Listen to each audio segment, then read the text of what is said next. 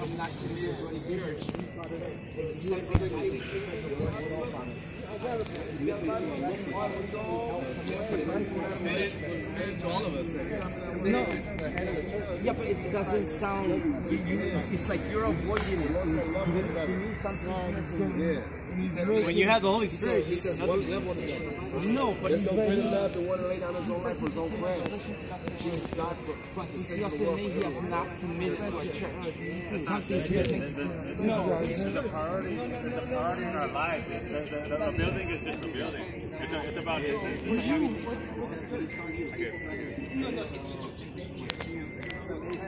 It's awesome working for the Lord. You guys need to do it.